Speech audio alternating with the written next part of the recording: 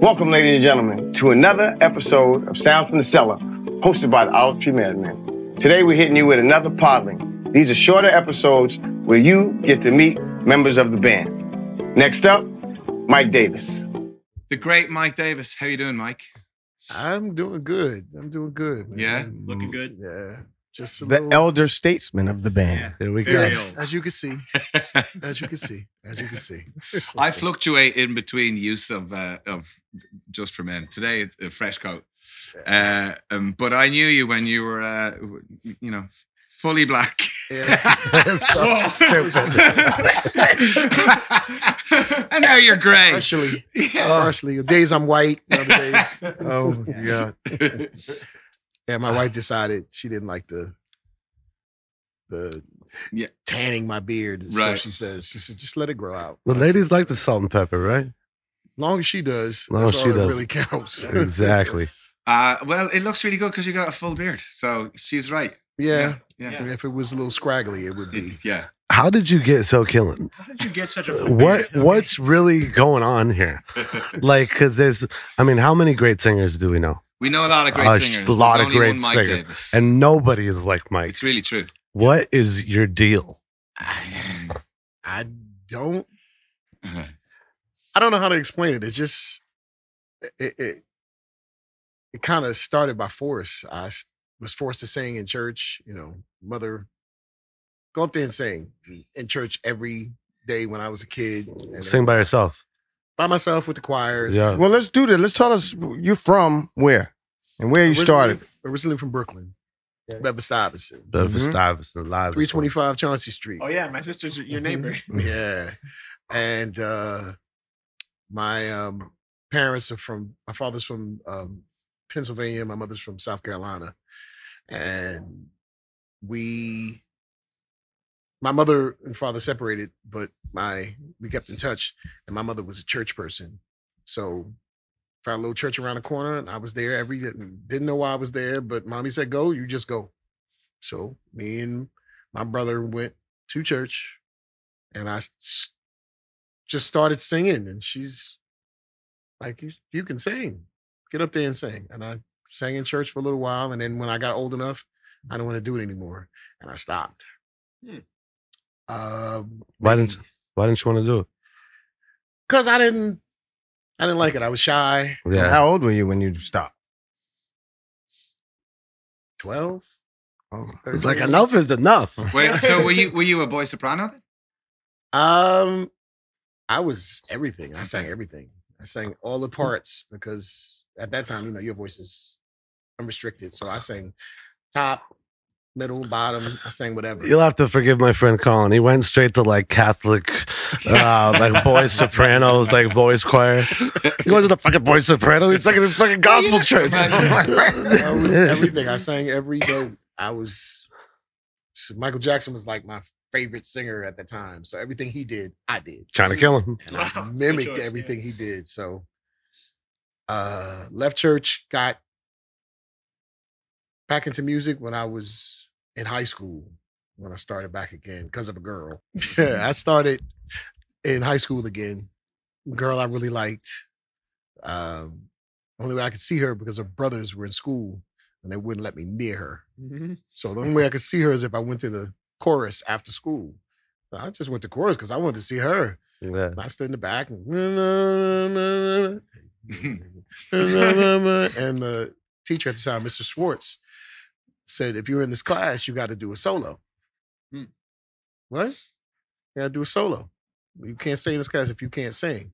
And you've been mumbling the whole time. And I was like, fine. He said, sing whatever you want. And I think I sang Maybe Tomorrow. Maybe tomorrow it will make it better. Jackson's Jackson Five is so Yeah, good. And he was just staring at me like, We should do that one here. I can't do them notes no more. Nah, that shit is high. That's child high. yeah. That and he was like, "Why do not don't I know who you are?"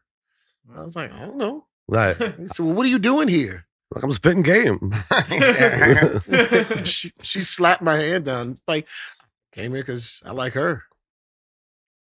Well, if you keep singing like that, she'll like you too. Yeah. And she did. Yeah. That was my girlfriend for two years. Wow. Wow. And from there, I joined the gospel choir because the guy there was a friend of hers, was the leader of the gospel choir Was that in the school or at a the church? school. In the school. Mm. in the school. And from school, I got my love back for church again.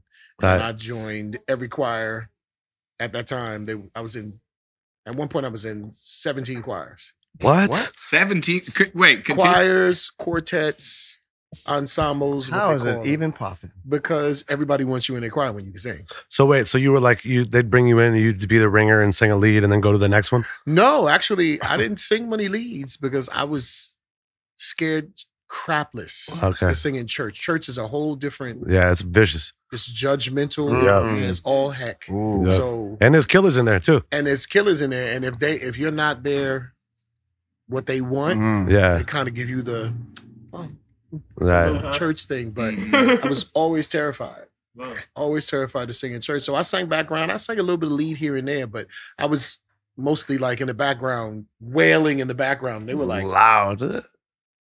so that's how I started singing again. And then I Oh. went back to church. And I was in church until I was 30. Wow. Back in church and then started working down here.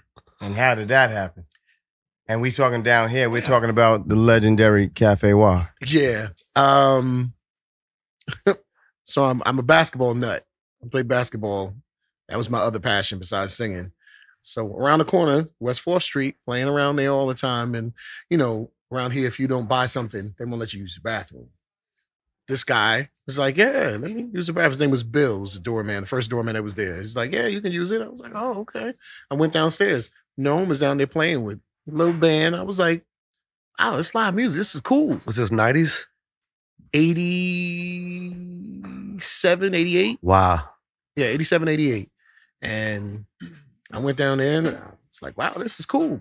How many days a week did they do this? Two. I was like, oh, you told me the days. I said, I'm going to come back. About a month later, it was my birthday. My friends were like, you want to go somewhere? We're going to go. I was like, there's this place around the corner. They got live music and it's free to get in. And the drinks are like, was like $2 for a beer. Right. Back then, $2 was a lot of money, but well, got downstairs and he, Noam had people coming up to sing. And my friends were like, man, you can sing better than that. Right. It's like, yeah. I said, yeah, but I'm cool. They wrote a note without me knowing that I, they wrote a note saying this guy can sing better than anybody in the band. No reason, no. Damn. Okay, Savage. Yes. Si- signing some, signing your friend up for karaoke. He Yeah. reads the note and he's like, his, his name is Mike Davis. I'm like, you mother. I was like, so I was like, well, if I sing, what do I get? Ha! My man. like, if I sing, From what do I start. get? He's like, well, if you sing and this audience thinks you sing better than anybody in here, he said, I'll pick up your check. Okay. You're like three bottles of Veuve Clicquot. kidding. Let's go. Ten minutes later, I was in in the front part of the uh, Cafe Wha, standing on a table singing um, uh, "Living for the City." Just Oh, killing I it. had the entire audience singing along with me, and the music stopped, and I started wailing. I was like, "Are we gonna get this free?" We're gonna get this beer. And we ate and drank, and from that night on, Noam was like, "You've got to come back. You got to come back." And I kept coming back with more and more friends, and that's how his band changed because all of my friends, Vivian, uh, Nick Jones, uh, Ron Long, all the cats that were playing down there back then. When we was coming down there, all of the OGs started coming down there because I started telling everybody, "I'm playing this place in the village. I should come down." You brought Ron in? Ron came down with Now, Ron was up like a someplace was In the it up Bronx. Honeysuckles. n- no. Oh, what's the name of the club that was up, up in where Ron played a lot? When Ron had the long hair. Uh, Ron. When I when I first saw Ron, Ron was playing in the Bronx oh, okay. at a place called Arthur's Arthur's Round Table. Arthur's Roundtable. We're talking about Ron Long, one of the Ron most Long. legendary bass players in the world. Incredible. Not a bad drummer either. Really? oh my God. I never even played drums. He's- Actually, it's his first instrument, when right? I first saw him, he was Yeah. playing drums. Yeah. When I first saw him, he was playing drums. Yeah. Wow. And then I heard him play the bass, and I was like, Yeah, "What?" it's crazy. wow. Yeah, he was looking like the he plays them several. like Bruce he- Yeah, Lee's yeah, yeah, he plays everything. Yeah. yeah, Wow. Yeah. He plays everything well. Wow. too. Guitar, piano, drums, Yeah. and bass. Prince used to come down and see check Ron out down in the underground. Prince would come down, right? Was Prince ever uh, there when you were Larry singing? Graham. What was the vibe? He was just he was just a music head. Yeah, he was just a digs music head. He came down, and the funny story was he came to the Village Underground. I was with Raj, Right. and I'm singing something with Raj on stage. I forget it was it was a, a, a piece of a common song. And I saw him at, at that time. They had this booth, and he was in the booth, and there were the two tall bodyguards, Mm. and he kept getting up. Yeah. But I always heard he was short. But he would get up, and it was he'd be tall. And I was like, oh, maybe he's not as short as everybody said. But I didn't know he was standing on the bench. So funny. So when he came down the stairs, he kept coming down, and I kept going, oh. So funny. when he was he was like this high. I was He like, goes, oh, and that's with heels. yes, and That's he what had the heels- heels on. And he played, and he was like, "Man, I just want to tell you, deep voice too. Yeah. Wow. I Right, just yeah. want to tell you, man, you were fucking killing it, bro. Really? I love your voice, man. You just well, I was like, but you're Prince. Wow. I just said, I don't care, man. I just love your I don't voice, care, man. Your voice is amazing. I was like, wow. That that was Were you singing, There is a light that shines? I knew you were singing that That's one. it. That's because that's the heat. that's it. That's exactly it. And I Yeah. love that. Just that snippet. I was Great. like, Yeah. No, Love Pr- Jay that. Dilla fucked that up for everybody. He, the, his version's better than Bobby Caldwell's Oh, version, yeah. in my humble opinion. Respect Bobby Caldwell and Jay Dilla. So you get to the Y, years happen, record deal. Yeah, I um my manager at the time was Ralph Rolle, who is a legendary drummer. Drummer.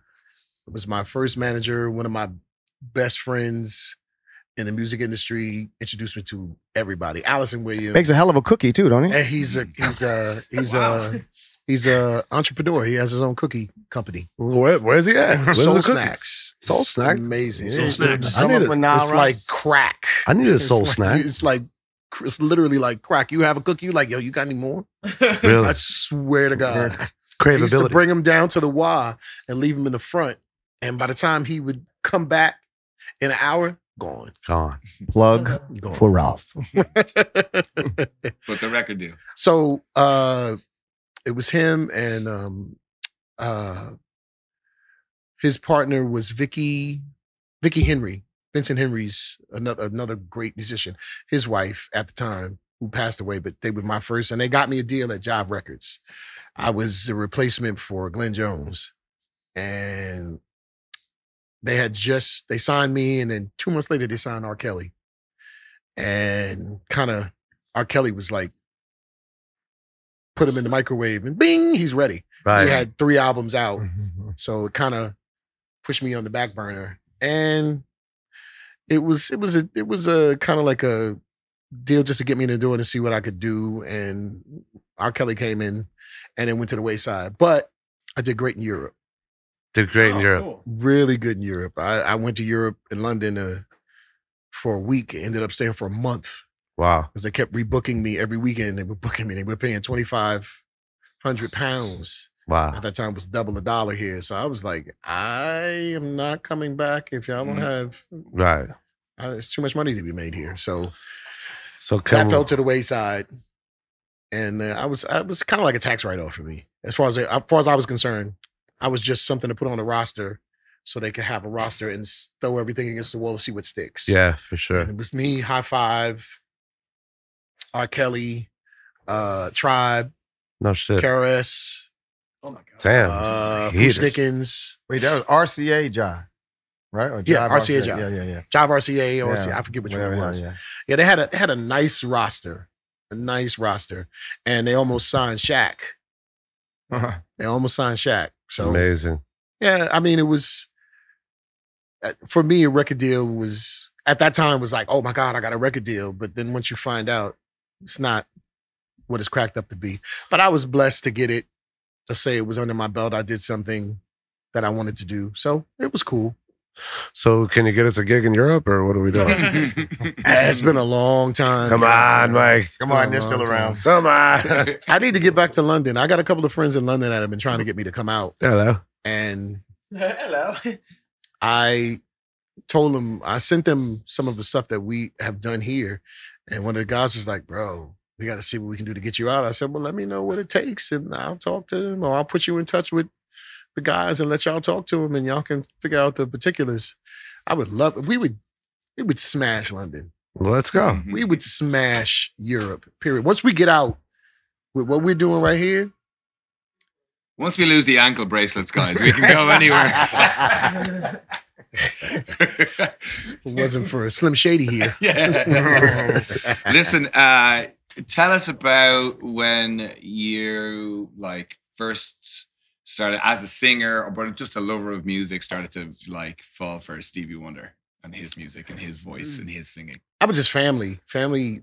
Uh, I hate to sound like the typical black male singer, but hmm music was in my house all the time. Yeah. My dad sang, my mom sang, hmm my brothers and sisters. It's like questionable. yeah. They sang, but it was like They were supportive. they sang, but not like I did. Right. So my mom kind of recognized it and she just played music in the house. So all I heard was um, Stevie, um, uh, Mahalia, Shirley Caesar, then the Hawkins, then she would mix it in with uh, Teddy and Isaac and um, Boz Scaggs. And uh, just, it was just a, because at that time, we didn't have FM, so it was all WWRL and Mhm. WWRL was an AM station and they played Everything. everything. Right. So I heard um uh what's Don, Donnie McLean? No, McLean? Don McLean, yeah. Don yeah, McLean. yeah. I heard uh, Sweet Home Alabama. I heard it, it would just everything came on the radio. So I was just I knew a little bit of everything. Absorbing it all. I What was that Don absorbing McLean everything. song we were playing last night? Yeah, Vincent. Vincent. Oh yeah, he wrote Yeah. that. I Yeah, forgot yeah. about and that. American Pie. Wow. So I knew all of that stuff. I heard it before, so I kind of it was kind of like subliminally in my mind, like I know all of this stuff. I knew all this stuff, but Stevie just stuck out. Stevie, um, the Jackson Five, and for some strange reason, Peabo Bryson. People's Mhm. killing. That's, That's why. right. Yeah. Bryson just Don't you dare close your listen, eyes. he just stuck out to me, and the I don't, I, just his the tones Amazing. and everything was just I can hear that now that you mentioned It was mention it. you. effortlessly done and it was just a tone and he just it was just effortless the way he did it and i was like oh my god and then frankie beverly and later on luther came in and luther just blew the game up Yeah. luther blew the game up for me and then on the gospel side you know take six commission and the winans Winans. that Right. was it the winans blew again on the gospel side and the quartets the winans blew the game up they they changed everything for gospel music at the time Did you ever hang out with them? um, I know BB and CC from stuff that I had done traveling with the choirs. So I met them before they were the Winans. And then when the Winans hit, I was like, wait, I know, I know BB and I know CC before they were the Winans Winans. And then I hadn't seen them for a while and saw them in the airport and was like, oh my God, you, I saw your album. Blah, blah. We just fan that out on each other. And it was cool. I haven't seen them since then.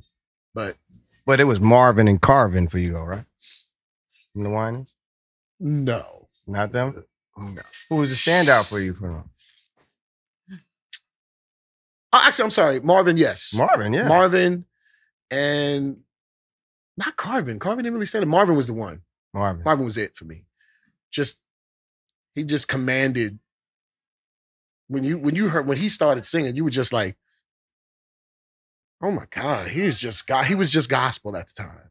Because before that, it was uh Walter Hawkins, Right. Old school. um, James Cleveland, Old school. Benny Mm. Cummins, Kill.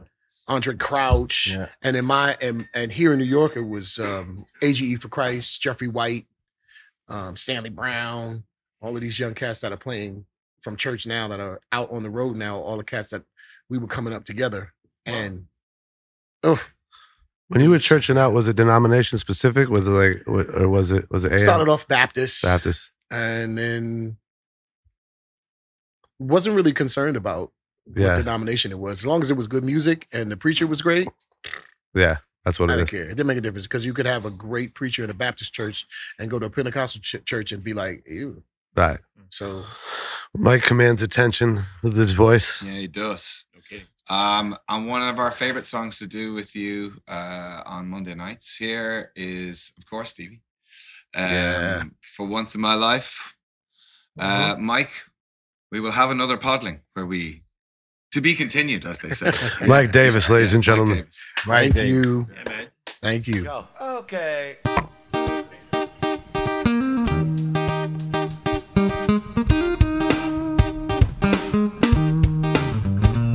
For once in my life, I have someone who needs me. Someone I needed so